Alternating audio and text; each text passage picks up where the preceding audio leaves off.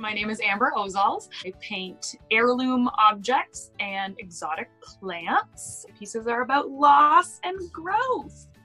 I uh, yeah, I paint in oils for the most part, but I do acrylic and other stuff. But my favorite is going to be oil painting for sure.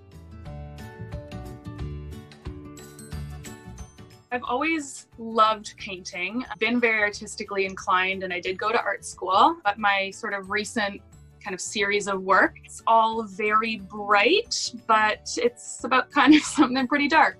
Basically, I hoped that my artwork would fix my brain because uh, my dad suddenly died without warning five years ago. There was no signs. Um, it just sort of happened, and that was obviously devastating. But it was also just so strange and isolating. Like everything just immediately shifted. I was 23 and I, none of my friends knew what to say to me and I didn't know what to say. We don't talk about any of these sorts of things. So um, I was like shocked after two weeks that I wasn't feeling happy again. I was still sad. So I was legitimately Googling what makes humans happy. I didn't know what I was doing, basically. So Google said nature and houseplants and exercising and all these things, but like nothing that I'm doing is making me feel better, right? So it must be there has to be some sort of formula. I was like, okay, houseplants, I can I can handle that. So I bought like 40 houseplants. It was very very strange time, right? So you know, like when someone dies, you have to you know do all of the logistical things. Going through you know the stuff, we discovered that my dad had this huge camera collection, and he had been hiding little cameras all around the house. We counted 117 cameras. So overnight, that's from clutter to heirloom.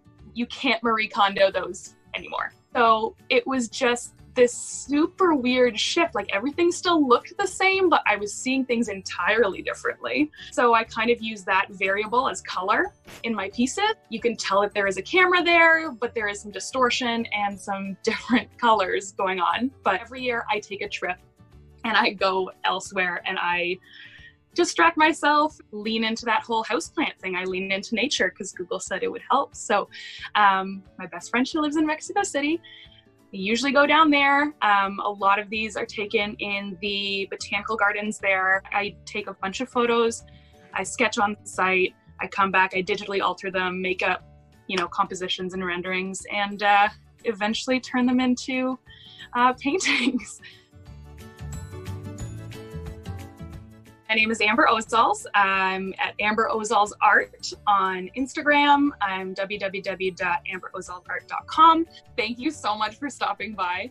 Uh, these pieces really do mean a lot to me, and I, I hope they mean a lot to you. Yeah, just enjoy it. Take your time, you know, enjoy the piece of art, look at it, take it in, go out into nature, do what you gotta do to get by.